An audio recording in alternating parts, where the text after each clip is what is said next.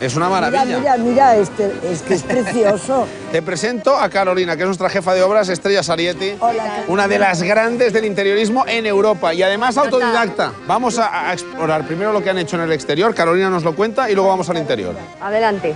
¿Qué tal ha ido, Carolina? Bueno, pues con, esta, con este solado que han colocado aquí han tenido... A mí este suelo me gusta, pero las mesas, esas blancas, El blanco este el no te va, blanco, no, no me va, ¿sabes? Me da rollo de playa. ¿eh? Mira, ahí están los chicos terminando de pintar.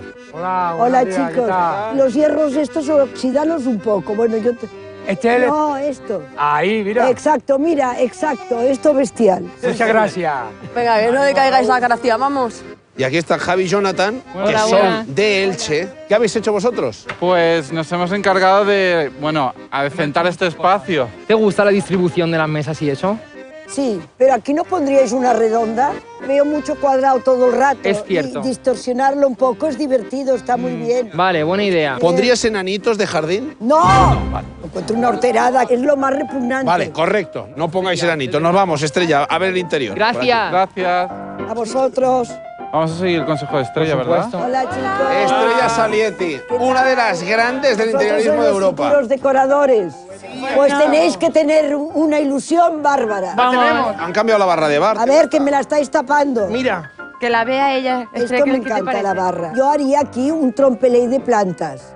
¿Qué es un trompelín? El trompeley es que te dé profundidad. no, pero no nos da tiempo, ¿eh? ¿Ves? Esto no lo quiero. No lo quiero, perdón. Esto es repugnante ya. No te da tiempo. ¿Cómo Perdón, que? perdón, Hombre, perdón. ¡Hombre! Mira, mírame aquí el comedor, que también me han trabajado mucho aquí los chicos. Mirar la luz, es repugnante. Hay que Las lámparas son monísimas, pero las bombillas ponerles o algo, por favor. Ya, porque pero me has este dicho cuatro veces ya repugnante esto. Bueno, es que es una palabra preferida. Ah, mía. bueno, entonces. Y en mis obras también digo, es- esto es repugnante. Pero claro, esto. los chicos, imagínate.